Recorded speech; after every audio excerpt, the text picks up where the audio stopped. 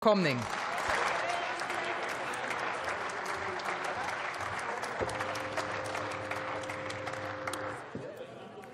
Mastroiannis noch nie zugehört. Gewerkschaften kennen wir. Gewerkschaften Wollen die beiden? Ähm, hier vorne spielt jetzt im Moment die Musik. Sehr geehrte Frau Präsidentin, meine Damen und Herren Kollegen, lieber Herr Wirtschaftsminister! Ja, liebe Kollegen von der Union, liebe Frau Glöckner, so läuft es eben, wenn man es wagt, der Ampelkoalition mal fachpolitische Oppositionsarbeit entgegenzusetzen. Mit Regierungsmehrheit wird dann ein eben unangenehmer Antrag im Ausschuss auf den St. Nimmerleinstag verschoben. Man wird zu Neudeutsch gecancelt. Und warum? Damit sich, Sie haben es angesprochen, die Kollegen der ehemaligen Wirtschaftspartei FDP auf ihrem Bundesparteitag in zwei Wochen nicht kritischen Fragen aussetzen müssen, warum sie denn einen Antrag, der immerhin grundsätzlich ja ganz vernünftig ist, in gewohntem Kadavergehorsam vor den Grünen abgelehnt haben. Nun also, nun also derselbe Antrag erneut in erster Lesung. An sich eine ganz gute Idee. Eine gute Idee gegen die Regierung, die fortwährend Minderheitenrechte in diesem Haus mit Füßen tritt.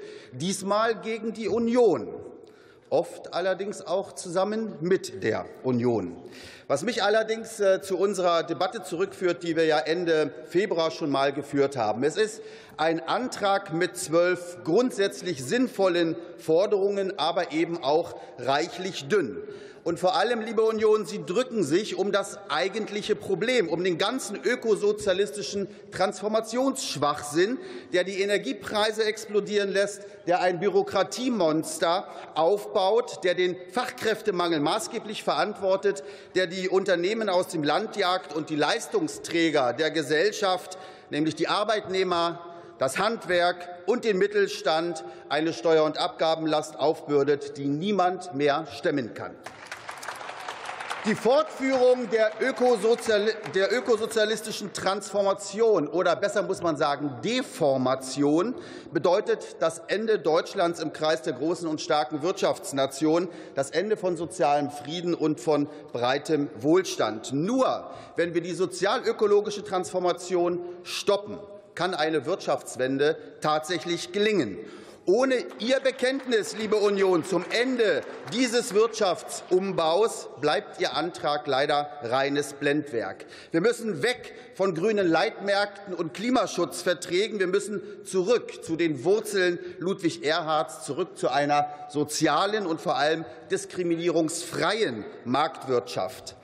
Liebe Kollegen, die Wirtschaftsleistung Deutschlands wird 2024 wohl das zweite Jahr in Folge schrumpfen. Immer mehr Unternehmen bauen in Deutschland Stellen ab. BASF, Bayer, Bosch, Volkswagen, Fiesmann, Conti, die besten Adressen der deutschen Industrie kündigen Massenentlassungen an. Beim deutschen Fahrzeugzulieferer ZF Friedrichshafen 12.000 Stellen, bei Miele 2.000 Stellen. Dem Bundeswirtschaftsminister fällt nichts anderes ein, als die Konzernchefs mit Subventionsmilliarden das hohe Lied der Grünen singen zu lassen. Milliarden an Steuergeldern werden dafür verpulvert. Es ist mehr als höchste Zeit, dieses zerstörerische, dilettantische und dabei so arrogantische wirtschaftspolitische Treiben des Bundeswirtschaftsministers und der gesamten Bundesregierung zu beenden.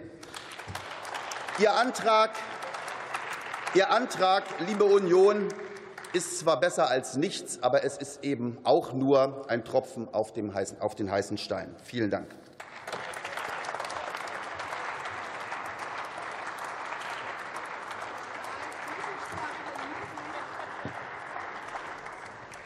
Als nächster hat das Wort für die Fraktion Bündnis 90 Die Grünen Dr. Sandra Detzer.